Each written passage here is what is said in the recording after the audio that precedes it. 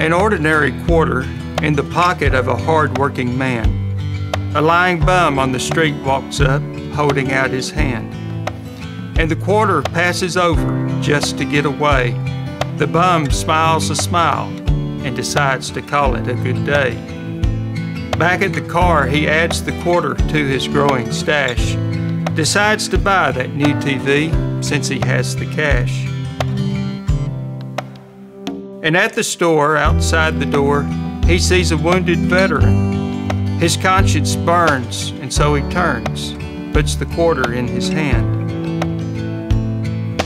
The vet says thanks, then breaking ranks, runs to his ragged tent. It's made from filthy trash bags, but doesn't cost him any rent. He had been to Afghanistan, did two tours in Iraq. His body returned to the States, but his mind was a long time getting back. He digs deep down in the corner, finds the greatest treasure he has known.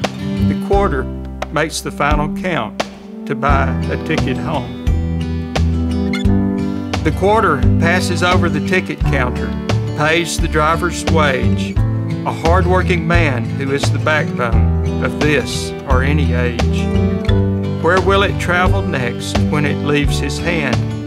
A hard-working quarter in the pocket of an ordinary man. Do you want to make a difference to touch hurting souls and lives? Put your hand into your pocket and give what's there to Christ.